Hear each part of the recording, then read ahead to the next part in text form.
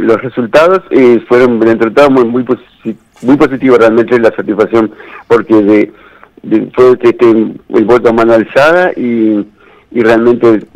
este, la, que estaba oficial eh, obtuvo 110 votos y el caso nuestro 141 votos. Eh, realmente, bueno, y como dijeron, para que escuché de ustedes, es,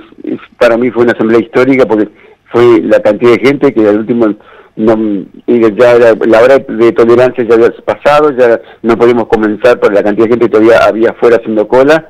Tratamos de, que todo entre, pero creo que, hubo gente que quedó afuera y no pudo entrar. Y era de alguna manera, de alguna manera puedo decir mm, bastante que a mí me,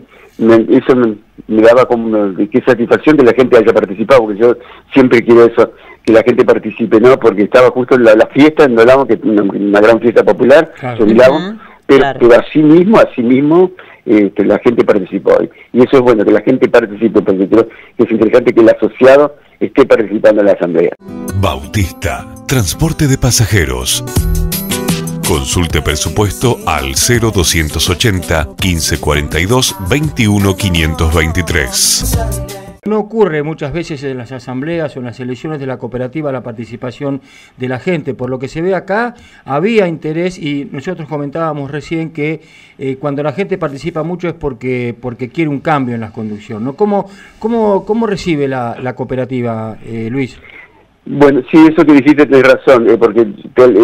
te, comento que yo ya estuve anteriormente en la cooperativa, pero muchos años atrás, y me acuerdo que hacíamos asamblea, la gente no, no participaba mucho, y esta vez, ¿cómo participó la gente?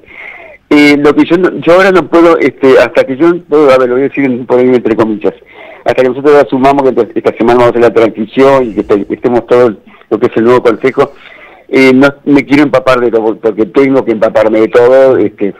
tengo que pensar que cuando yo estuve los, hubo muchos cambios, eh, sé manejo una cooperativa, pero bueno, ahora hay que tratar de ver y ver la,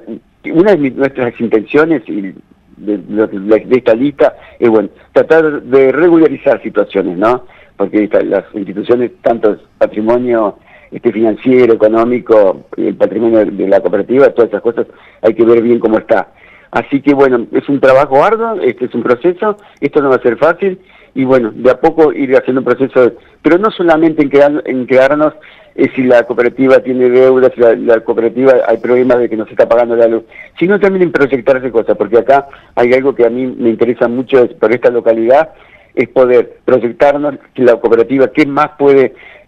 un servicio más, o qué es lo que puede de alguna manera vinculado, relacionado también con otras instituciones, estar juntos, conjuntamente, porque eso hace crecimiento de un pueblo, y ve que podemos hacer de todos juntos.